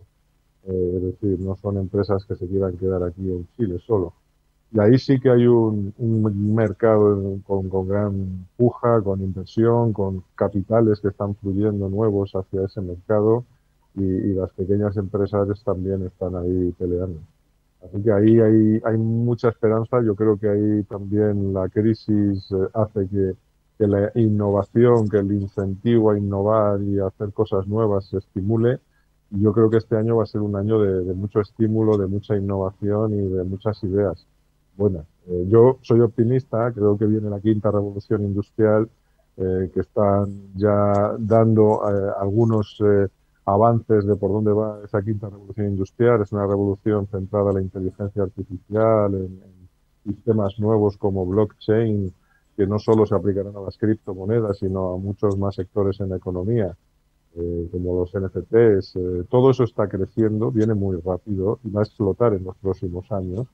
Entonces ahí es donde va a haber un enorme campo de oportunidades y, basta que, ya estemos convencidos de que, de que la crisis eh, siempre hay que superarla para que invirtamos en estos nuevos terrenos, para que dediquemos tiempo, para que veamos por dónde está el camino. Yo creo que sí, que, que hay salida y que todo esto va a alumbrar otro mundo diferente un mundo más tecnológico, pero espero también que más humano. Es decir, que, por ejemplo, los trabajos recurrentes o los trabajos que sean de poco valor añadido van a ser robotizados, van a ser automatizados. Eso va, va a obligar a que mucha gente tenga que salir de puestos de trabajo de valor añadido con poco valor añadido y va a incentivar a aquellas personas y empresas que sí que generen valor de otra manera. ¿eh? y que eso es la gran, el gran desafío que vamos a tener todos en los próximos años. Pensar cómo podemos generar valor desde nuestras empresas, valor que además eh, puedes entregar a clientes si es consultoría o si es un servicio que se puede entregar online, lo puedes entregar a cualquier lugar del mundo, estés donde estés. Es decir, los países van a tener que pelear por eh, el talento, porque se radiquen las personas y las empresas talentosas en su país, porque desde ahí van a poder prestar servicios a todo el mundo. Y en el caso de los productos, ahí ya es otro tema, porque ya cuando tienes que fabricar o producir algo, pues habrá que ver también esa otra economía, pero la automatización está acelerando a toda la velocidad y en los próximos años con la unión del Big Data, la inteligencia artificial, eh, vamos a ver una explosión de, la quinta revolución industrial que va a cambiarlo todo. Entonces, esa es la gran crisis que veo venir y eh, esperemos que, que, por ahí vayan las cosas. En Europa, cuando he dejado España hace unas semanas, la gente también estaba preocupada por si los rusos y los americanos se enzarzan en Ucrania. Estaba la cosa muy caliente allí y está la cosa caliente en la frontera, pero yo quiero pensar que no, que no vamos a ser tan necios a estas alturas de desatar una guerra mundial entre potencias como Estados Unidos y Rusia, y, y, además creo que la disuasión de las armas nucleares que tienen unos y otros hará que aquello se resuelva diplomáticamente. Entiendo que, que, podrán encontrar caminos y yo tampoco veo en el escenario futuro que haya grandes guerras. Sí que puede haber ciberguerras y eso sí que es posible ya. Ciberguerras me refiero a ataques informáticos, a, a desestabilizar compañías o países a nivel informático Eso sí que lo podemos estar viviendo ya, lo estamos viendo, pero eh, soy optimista, creo que, los seres humanos vamos a mejorar con esta nueva quinta revolución industrial, que se abren, se van a abrir un montón de oportunidades para todo tipo de empresas de prestar servicios eh, a distancias eh, enormes y eh, con eso me quedo. Y ese es el mensaje que quiero lanzar. Que viene, eso es inexorable, que va a haber grandes ajustes, que la bolsa caerá, bajará, subirá de nuevo, que todas las crisis conllevan caídas, pero luego hay recuperaciones y que hay que estar preparados para ese escenario y sobre todo hay que ser flexibles al aprendizaje, a entender que este es un mundo que está cambiando más rápido que nunca y que lo vamos a vivir y que no hay escapatoria, o sea, va a pasar en los próximos meses y años y la mejor defensa es ser flexible, adaptarnos, entender que el cambio viene y que tenemos que hacerlo lo mejor posible cada uno en, nuestro, en nuestra parte. Grande. Muchísimas gracias, Iván, por la reflexión y realmente comparto y bueno, estamos alineados como siempre. La verdad que un gusto tenerte desde, desde Chile, amigo que estás allí, qué suerte que salieron toda la familia de, de este flagelo del COVID, que salió bien y bueno, vamos a, comunicarnos en esta semana, como te dije, y vamos con todo y que disfrutes tus vacaciones y al regreso ya arranquemos el año con todo como siempre. muchísimas gracias, un gran abrazo de la Argentina. Un abrazo fuerte, grande para todos y nos volveremos a ver en marzo por aquí. Así que un abrazo para todos. Un gran abrazo y buenas vacaciones. Bueno, eh, Iván Calvo Prieto, el CEO de Light ABN, desde Chile, como siempre, nos acompaña, así que muy, pero muy contentos. Vamos a la tanda, así ya recibimos a nuestro próximo. Ecomedios.com AM1220. Estamos con vos. Estamos en vos. La Posada Morado Ventos te espera en Pipa, la mejor playa del nordeste de Brasil, única por su bahía con delfines 12 exclusivos departamentos estilo bungalows totalmente equipados sobre una pequeña colina con suave brisa constante en un predio de 5.000 metros cuadrados. Antes o después de la playa, descansa escuchando el canto de las aves en nuestras tres piscinas circulares. Podés venir con cualquiera de las vacunas aplicadas en Argentina. www.moradadosventos.com Morada Dos Ventos, Pipa. El primer lugar cuando decidas viajar. Omint Digital, la primera plataforma online para cotizar y comprar un plan médico con cobertura nacional para vos y tu familia. Ingresa en omintdigital.com.ar y conoce más. Superintendencia de Servicios de Salud. Órgano de Control de las Empresas de Medicina Prepaga. 0800 227 sssalud.gov.ar. RNMP 1336. Este verano viví lo diferente con Omint. Si sos socio, disfruta de los mejores balnearios y actividades. Descuentos en toldos y sombrillas. Clases de zumba, yoga y funcional. Sector exclusivo de coworking. Descuentos en la obra de teatro Madres en Mar del Plata. Y descuentos en Greenfish de 18 hoyos en Mar del Plata Golf Club. Si vas a Pinamar, buscalos en el balneario El Pájaro y en el espacio de marketing registrado. En Mar del Plata, visitalos en el Mar del Plata Golf Club y en el Teatro Provincial. Y si estás en Villa Carlos Paz, te esperan en la playa Paradores. No te olvides de visitar las redes sociales de Omin para conocer la sección de descuentos y beneficios que tienen para vos. Omint Digital, la primera plataforma online para cotizar y comprar un plan médico con cobertura nacional para vos y tu familia. Ingresa en omintdigital.com.ar y conoce más. Superintendencia de Servicios de Salud. Órgano de Control de las Empresas de Medicina Prepaga. 0800 227 sssalud.gov.ar. RNMP 1336. Esta temporada de verano se van a generar miles de puestos de trabajo en hoteles, restaurantes, balnearios, bares y comercios. Esas trabajadoras y trabajadores siempre tienen que estar registrados para acceder a todos sus derechos. Más información en afip.gov.ar. Reconstrucción Argentina. AFIP. Argentina Presidencia. Informate en ecomedios.com. Seguinos en TikTok, arroba ecomedios 1220. De la mano de los mejores, experiencias, aciertos y desaciertos de los empresarios número uno de nuestro país. Ahí estamos con todo, con los empresarios número uno. Bueno, nuestro segundo invitado del día, Matías Pozo Alonso, el CEO de Balloon Group. ¿Cómo va, Matías? Muy buenas tardes. Hola Juan, ¿cómo estás? Muchas gracias y gracias por la invitación. No, por favor. Bueno, ¿estás, en México vos? Estoy en México, exactamente. Vivo acá hace tres años, así que bien cómodo, instalado. Hoy feriado acá en México. Eh, así que nada, adelantando un poco de trabajo atrasado, ¿no? ya, ya ustedes tienen varios años, ¿no? Porque vos decís eh, hace seis años con, así con foco en, en expansión regional, pero eh, ¿Valum hace más de seis años que está o hace seis años que existe? Sí, no, nosotros nacimos, Juan, hace ya 10 años. Ah, por eso. de hecho, 10 años. eh, tuvimos varios procesos así de expansión, siempre fueron un poco más orgánicos y obviamente nosotros, ser como, como todo emprendedor, ¿viste? vamos invirtiendo nosotros cada ficha. La realidad es que al principio, bueno, comenzamos a vender, nos fuimos en Ecuador, empezamos a agarrar cuentas, nos empezamos a mover un poco, sobre todo necesitamos validar el modelo.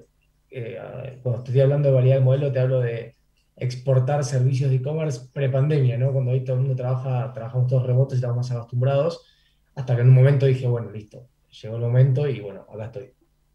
Qué grande. Sí, sabes que yo lo- los, los conozco a ustedes, eh, por eso te decía, me- no me, no me- seis años no me, se me decía, no, no, no, no, seguramente, pues tenía para, pa- cuando vi que, que, que venías vos, eh, bueno, perdón, que participabas vos, eh, era, dije, "Sí, pero esto yo, a Santiago Bibiloni, ¿no?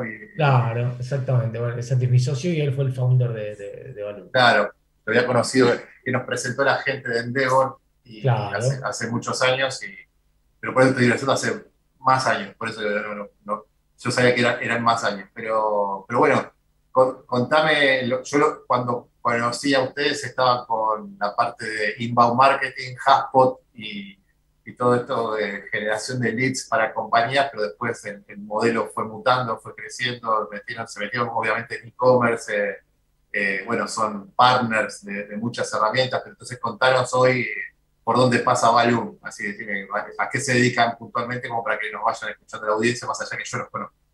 Perfecto, Juan. Mira, la verdad que obviamente como, como todo camino emprendedor fuimos atravesando di- diversos patrones, subidas, bajadas, cambio de modelo, maduración del modelo, ¿no?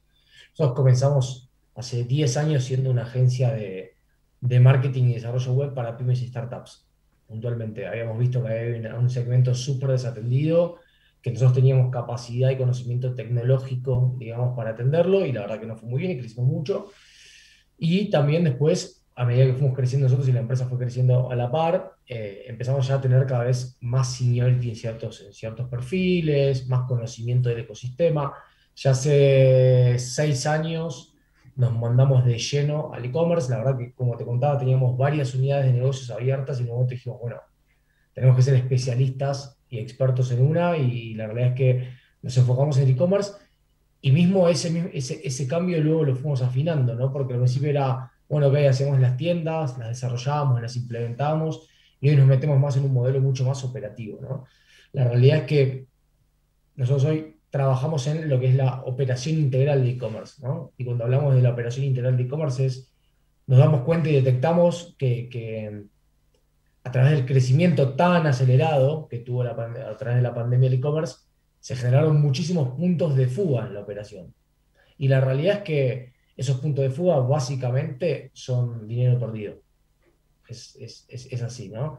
Entonces, nosotros empezamos a trabajar en como en cuatro pilares marcados para las marcas, donde nos acompañamos en el diagnóstico, entender, Juan, cuál es la necesidad que vos tenés como, como empresa, cuál es el presupuesto que tenés, qué hace tu competencia. Después pasamos a todo lo que es la parte de la implementación, donde acá, como comentabas, somos partners de hoy las plataformas líderes del mercado, como puede ser Adobe Commerce Cloud, puede ser Vitex, puede ser Salesforce, etc. Después los acompañamos en nuestro tercer pilar en todo lo que es la parte de integración. Y la verdad que este punto es muy importante porque la operación comercial creció tanto que muchas empresas tuvieron que triplicar su estructura, para atender el crecimiento del e-commerce. Y la realidad es que el e-commerce no fue concebido de esa manera. Entonces ahí nosotros lo que hacemos es integrar estas plataformas que desarrollamos con sistemas externos. Por ejemplo, no sé, tu sistema de gestión, tu sistema contable, tus marketplaces, eh, CRM, RPS, etc. Y por último punto, los ac- aceleramos a las marcas. O sea, les damos estrategias tanto de, de performance marketing como de marketplaces y demás. Entonces tratamos de ser el, par- el player punta a punta de la operación y tratar de no ser tanto un proveedor, sino ser un, un partner más asociado con el cliente. Hoy ya, la verdad que crecimos muchísimo, tenemos una empresa de, de- ya somos 100 personas prácticamente, tenemos operación en, en- en 12 países de la región, como te comentaba, yo estoy en México, mi socio se fue a abrir España hace ya 3, 4 meses, así que creciendo mucho, tratando de ayudar al ecosistema en un montón de cosas que todavía no está tan maduro y bueno, tratando de aplicar tecnología para eso. Qué bueno, qué bueno. Sabes que el, el- el mercado que, que ustedes están en los 12 países, ¿trabajan con empresas grandes o también trabajan con pymes, con emprendedores? ¿Cómo, cómo lo están llevando el público objetivo de ustedes? El, eh, Mira, hoy, hoy ya trabajamos en un segmento un poco más enterprise, ¿ok? Eh, pero básicamente lo que nos pasa, eh, Juan, es, primero, ¿qué es un segmento enterprise, ¿no? En cada país. La verdad es que aquí en México, por ejemplo, eh, no sé, una pyme puede tener un presupuesto de una compañía muy grande eh, en otros países de la región, ¿entendés? Entonces, de repente aquí trabajas con una empresa que capaz que son menos de 100 empleados y es una pyme, pero tiene un presupuesto abismal. De hecho, si- si te vas a Estados Unidos, esto sería todavía más, ¿no? Hoy una hora de desarrollo en Estados Unidos se vende casi ocho veces más de lo que se vende en Argentina. Sin embargo, hoy nuestro target de clientes es un, es un segmento más eh, medianas empresas y enterprise, ¿ok? Hoy trabajamos, sé, clientes como Laboratorios Abbott, eh, que son empresas muy grandes, hasta compañías que son un poco más medianas. Eh, y obviamente cada compañía, cada ticket promedio que nosotros manejamos tiene su equipo asignado, tiene su operación asignada, pero nos manejamos generalmente en compañías que tengan más de 250 empleados. Ah, muy bien. Eso está bueno. Y, la internacionalización, ¿no? En los 12, en los 12 países que están, eh, ¿cómo, ¿cómo fueron? O sea, arrancaron obviamente de Argentina y el paso que fueron dando, ¿cómo, dó- ¿dónde dieron el primer salto? Mirá, el primer salto, como te contaba, Juan, lo empezamos a tener con algún cliente en Chile, algún cliente en Uruguay, algún cliente, como te decía, esto hace tres años nosotros necesitábamos validar cómo funcionábamos remotamente, ¿no? Eh, ¿cómo lo hacemos? La verdad que somos, bootstrapeamos el, el- el modelo, o sea, es súper orgánico, con un montón de herramientas, prospectando. En un momento, esto yo me vine a vivir acá a México en mayo de 2019, eh, y fue como, bueno, ok, tomemos la decisión, es acá, veamos el mercado modelo, era el mercado un poco, quizás es el mercado más atractivo de la región por volumen, con Brasil, no tiene la barrera idiomática que tiene Brasil, ¿no? Eh, que es lo que, lo que a uno a veces lo hace como dudar más.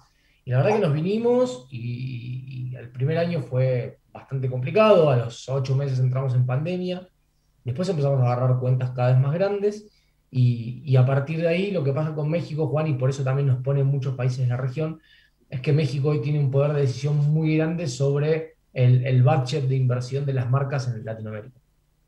Entonces, hoy un gerente de México toma la decisión presupuestaria sobre Colombia, Perú, Ecuador, Argentina, etc. Entonces, Sí, como estaban los, los headquarters en Miami para muchas empresas que decían, ah, ah, exacto, funciona de la misma manera. funciona de la misma manera y eso en un punto te lo hace un poco más fácil esta como, como estrategia de derrame, ¿no? Eh, de hecho, nosotros vinimos de Argentina, o sea, venimos de abajo hacia arriba y hoy estamos, las cosas que cerramos las cerramos desde acá y empiezan a bajar. Eh, entonces, eso hizo que sea todo un poco más rápido y obviamente la pandemia, Juan, la verdad que la demanda está en todos lados. Eh, hoy la región particular, salvo Argentina y salvo Brasil, tampoco tiene una madurez todavía tan grande a nivel tecnología. O sea, hoy nosotros en Argentina, por ejemplo, al ser, no sé, muy escuela Mercado Libre o ves academias como, no sé, Digital House, Coder House y demás, Sí, eh, Henry, bueno, hay, cada- hay muchísimas, la verdad, y son de muy buena calidad. Pero la verdad que empezamos a generar profesionales de esto hace muchos años. Entonces te pasa que acá en México, por ejemplo, e-commerce explotó hace dos años, pero todavía no tenés gente certificada. Entonces eso, puso una necesidad, digamos, no, obviamente ley de oferta y demanda, eh, muy grande que, los argentinos estamos supliendo. O sea, hoy tenés muchísimas agencias de Argentina, compañías argentinas que están vendiendo tecnología a muchos lugares porque empezamos hace mucho. El mercado es chico, pero es muy maduro. Y, y cómo el, el empresario, ya que estamos hablando de, de México, seguimos un poquito más, ¿cómo para, para abrirle la- la- las puertas al empresario argentino que diga, che, quiero internacionalizar y estaba eligiendo México, Colombia, Perú, obviamente el volumen de, de México es enorme, es una puerta de entrada también a Estados Unidos, me imagino que, que están eh, por, por cercanía y por el, el modelo y por lo que es, y por la, la economía. Eh, ¿Cómo les, les resultó a ustedes la negociación y la prospección? O sea, ¿cómo, cómo lo ven al argentino ellos, cómo, cómo, es la relación con, eh, humana. Olvídate un segundo de, del, del inbound marketing o del Google AdWords, o sino de la prospección digital. Cuando tenés que cerrar acuerdos con empresarios mexicanos. Viste que siempre dicen la frase el ahorita, el, que son más lentos para, para decir que sí, o, o quieren tomar una tajada, o no, o, o en realidad son todas eh, suposiciones y preconceptos que fueron quedando con los años. Como, como, como en todo, Juan, hay de todo. O sea, como así tampoco, no todos los argentinos somos lo- la fama que tenemos, ¿no? Muchos sí, pero digo, la realidad es que acá al, al argentino se lo recibe muy bien. O sea, creo que, que hay muy buenos casos de éxito de muchos argentinos que vinieron hace muchos años e hicieron muy bien las cosas. Eh, es como que te dijera que yo soy de la generación que vinimos, no sé, hace menos de cinco años, y después hay una generación que vino hace 15. Y esos hicieron, un- la verdad que nos recibieron súper bien. Al principio, obviamente, como para mí pasaría en México, pasaría en Colombia, pasaría en China, es, no te conocen. Eh, la realidad es que no te conocen, entonces al principio nosotros empezamos a tratar de generar que, nada, que, que los partners, que otras personas hablen de nosotros más que nosotros mismos, porque yo te puedo decir una cosa, pero la verdad si no me conoces, no me conoces. No es fácil, no fue fácil, venís, viste, con total desconocimiento, pero con algún tipo de relación y demás. Después, en cuanto a, lo que me decías de, los tiempos y demás, creo que, creo que tiene que ver por estratos, creo que tiene que ver con un poco de, todo, ¿no? Hay gente que, así como me decís el ahorita, y es una fama, obviamente, que puede ser bien ganada, también por otro lado tenés tomadores de decisiones súper eficientes que de la tarde al día siguiente decidieron, cambiaron el modelo, lo implementaron. O sea, hay de todo. Creo que no se puede generalizar. Sí hay cosas que obviamente las tomas de decisiones se, se- se estiran mucho, que es algo que acá era característico, pero también tiene que ver con que los presupuestos son más grandes. Y la verdad es que cuando vos tomás un presupuesto de una decisión de 10 mil dólares, no tardás lo mismo que la de 100 mil, ¿no? Entonces, tiene mucho que ver para mí también con eso. cómo Eh, impactan el ciclo de ventas. O sea, por eso a, a- a eso voy con, la, con ese tipo de preguntas para, para que nos esté viendo y escuchando. Eh, la idea es cómo impactan, de, de acuerdo a la cultura y la idiosincrasia, cómo impactan en el ciclo de ventas, porque a veces tenemos un ciclo de ventas y creemos que en todos lados es igual y no, tenemos que adaptarnos también a la realidad, eh, tropicalizar los productos. Por. Exactamente. De, de- de hecho, a nosotros nos pasó que, por ejemplo, la pandemia para mí, en un punto, eh, este- esta revolución digital, a México en un punto lo, lo- lo- eficientizó mucho, porque México es una ciudad muy grande en la cual viven muchos millones de habitantes. De hecho, en el país viven 144 millones de habitantes y el país es más chico que Argentina. Entonces, o sea, hay mucha gente. Entonces te pasaba que, no sé, vos podías tener dos, tres reuniones por día, porque realmente acá el tránsito a veces tenés una hora cuarenta, dos horas para hacer 14 kilómetros, 12 kilómetros. No, no. Es muy parecido a San Pablo, ¿viste? Claro. Eh, San vas al aeropuerto y te puede, te puede tardar 40 minutos o puedes tardar 3 horas. Entonces, eso también hacía que todos los tiempos de las cosas se estiren. La verdad que hoy creo que le están dando una, vuelta de rosca que era necesaria para México, que era más eficientes, más control de costos. Las oficinas tenían, las empresas tenían oficinas gigantes con un montón de personas y rentan un tercio de, la oficina porque la verdad que no lo usan. Entonces, creo que algunas cosas llegaron para quedarse bien y, la verdad es que empuja a que las cosas por lo menos hagan más rápido. De vuelta, ir a tres reuniones eh, de 40 minutos y pasarte en tiempo neto 6 7 horas arriba de un auto es insostenible.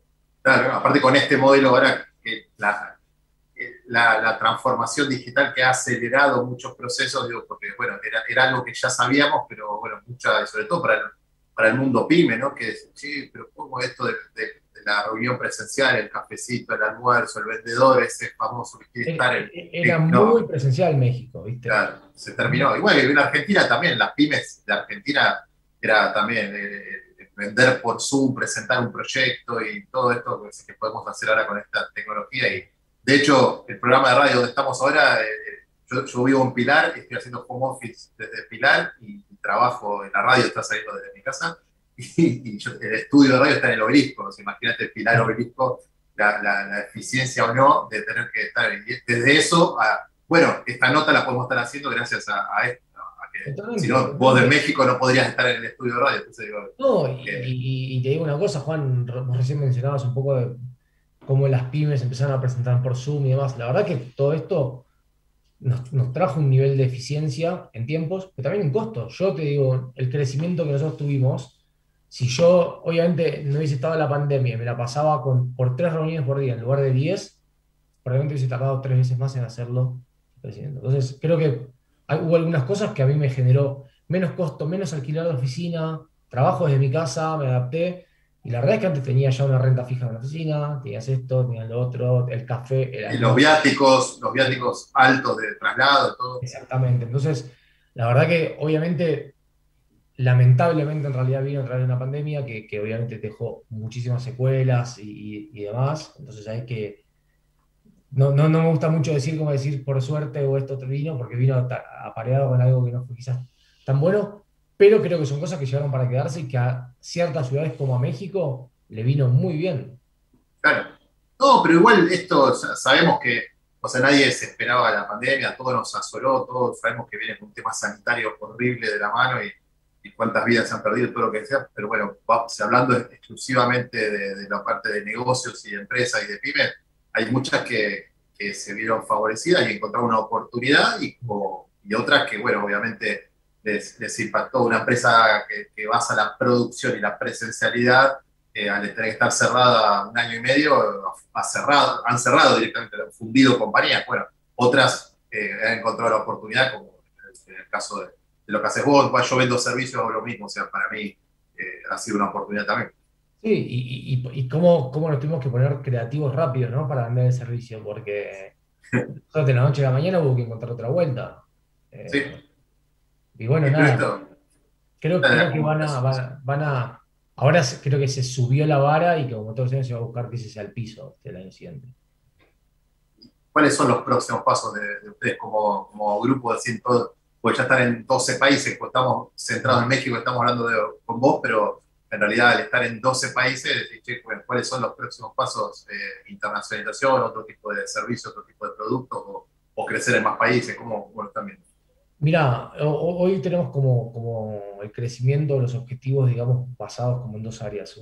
Un área es tener una, lograr una maduración mucho más agresiva a nivel equipo, a nivel profesionales, a nivel certificaciones, a nivel crecimiento, o sea, cada vez tratar de generar mejores profesionales, ¿no? Y la realidad es que no es fácil porque obviamente cuando vos tenés una persona que, que está trabajando en tu equipo y tiene X cantidad de horas y X cantidad de horas la destinás a, no sé, a capacitaciones o, o certificaciones, perdés productividad, ¿no? Pero es un camino que nosotros necesitamos tener mejores profesionales, porque el- hay, hay un, hay un ADN que, como te decía antes, que tenemos nosotros como argentinos en e-commerce que es excelente. A eso hay que hacerlo ahora, la- la capacidad de exportarlo a cualquier lugar del mundo. Entonces, esa es como la primera parte más a nivel equipo. A nivel estrategia o a nivel ejecutivo, eh, nosotros, como te comentaba, pusimos un pie en España para atacar Europa hace 3, 4 meses.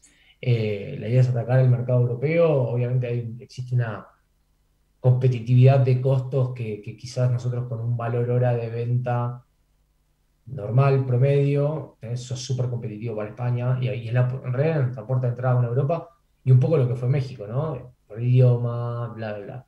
Y después, claramente, para nosotros el mercado latinoamericano, desde México, seguir atacándolo, seguir creciendo, nos falta muchísimo para agarrar o para ganar ni siquiera el, el, el 1%, nos falta todavía muchísimo camino, pero también se, se empieza a acelerar el tema de, de, de aperturas en oficinas en Estados Unidos, yo creo que a fin de este año. Eh, depende, hay, obviamente me, me va a tocar mudarme otra vez, pero bueno, eh, eh, estamos, la realidad es que con, con todo esto que pasó se disparó una, una demanda. Hoy Latinoamérica o hoy lo que tenemos nosotros como, como, como compañía, igual que otras empresas de servicio de tecnología, es que salimos, estamos saliendo a agarrar el mercado que en otro momento tuvo India, por ejemplo, ¿ok? Eh, y la realidad es que nosotros tenemos, culturalmente somos mucho más cercanos, estamos en el mismo time zone y no a siete horas de diferencia, entonces la verdad que la evolución de Estados Unidos, y sobre todo yo estando a una hora de acá, eh, es casi natural. Es un esfuerzo, como te decía antes, porque ir a abrir Estados Unidos y todo lo que significa, nosotros somos una empresa que estamos 100% capitalizada entre los socios. O sea, no... Entonces, cada decisión que tomamos la tomamos nosotros con la cabeza en el bolsillo. A veces que se puede y otras que no. Obvio. Sí, sí, sí, está, está buenísimo y, y es un lindo ejemplo que da para todos los, emprendedores, para las pymes que nos van escuchando, cuando piensan en internacionalizar, cuando piensan, che, eh, lo que estás diciendo, capitalizado los socios, y bueno, cuando pensamos con el corazón, con la cabeza, pero con el bolsillo también propio, eh, Sí. eh, todo, todo duele más y también las decisiones se toman diferentes, pero, pero eh, a veces, como ustedes están haciendo, ya de presencia en 12 países no, no es menor. Así que todo, todo el empuje, No, flexi- flexibilidad pyme argentina. Sí, es ese dinamismo. Te juro que eso es algo, Juan, que, que nos lo valoran en todos lados y es, es algo que ojalá nos salga esa flexibilidad de movernos porque por subsistir, digamos, somos muy dinámicos, eh, los argentinos en general, ¿viste? Y nada, hoy también con el crecimiento de la empresa, también obviamente cualquier tipo de decisión es más riesgosa. Antes éramos, antes éramos seis y si había algún problema, bueno, de última agarramos ahorros y lo cubríamos. Hoy no se puede. No. ya no hay ahorros que alcancen cuando son tantas personas. No, no, es- es- es- es- la verdad que es riesgoso y, y- y por eso nosotros somos, podríamos haber crecido mucho más, pero somos bastante cautelosos, bastante barra muy, ¿viste? Eh, porque nada, es, es la manera de que también poder combinar el estar creciendo aceleradamente, de sumar siete personas por mes, a poder dormir a la noche también, ¿no? Pues, es necesario también. ¿Y en España en qué ciudad están? En España, estamos, en España estamos en Valencia, ¿ok? Que estamos ambiciosos allá. Obviamente es, es un, un polo tecnológico bastante interesante, ¿ok? Que no es ni Madrid ni Barcelona, lógicamente. Es un poco lo que, lo que pasa en ciudades, no sé, como en Estados Unidos, por ejemplo, con Austin, por ejemplo, ¿no? Que son como... Hay buenas universidades, hay buenos ingenieros y demás. Eh, pero bueno, estamos en un periodo exploratorio, eh, empezando a ver partners, empezando... Nosotros nos apalancamos mucho con ellos, con, con con nuestros socios, digamos. Eh, así que nada, para este año tenemos mucha fe, la verdad, pero bueno, también, viste, con el tema de fin de año, las vacaciones y bla, bla, es como que ahora, te diría que el, año arrancó el 16 de enero para las marcas, entonces llevamos 15 días nada más de trabajo. Claro, es verdad. No, y está, pero está buenísimo, la verdad que la, experiencia en, lo que es España, justamente nosotros como, compañía estábamos analizando, bueno, internacionalizar lo que hacemos con, con procesos comerciales. Nosotros desarrollamos procesos comerciales acá en Argentina para compañías de todo tipo de tamaño. Hemos, el, el core son las pymes, pero también trabajamos con multinacionales. Y hemos tenido experiencia en México, en Perú, eh, y ahora, bueno, dijimos en Chile, en Uruguay, en Colombia. Y dijimos, bueno, vamos a, a trabajar, a- abramos la subsidiaria afuera, ¿no? Abrimos subsidiaria en Estados Unidos, pero hay algo que me dijeron desde que, relevando con gente, no solamente de Endeavor, sino con empresarios que ya están constituidos afuera, que convenía, y eso ya viene también como pregunta, ar- armar una, una sociedad también en Europa, en España, con cabecera en España, porque el español tiene más pluritos al cambio de la moneda que pagar en una cuenta en dólares, todo, como a veces pasa con empresas de Colombia o de México con, con un, con un banco de Estados Unidos, que a veces dice, che, tenemos peso mexicano, peso colombiano, pero ya perder plata en el cambio, pero aparte a veces hasta en los bancos de Estados Unidos no reciben transferencia de algún tipo de empresa, pero los de España sobre todo les jode el tema del cambio y entonces dice, bueno, eh, para Europa metete una sociedad en España y bueno, la de, la de Estados Unidos trabaja México, trabaja eso, pero la de Europa te conviene en España. Mirá, nosotros ahora estamos justamente en, en ese mismo proceso. Ah, mirá.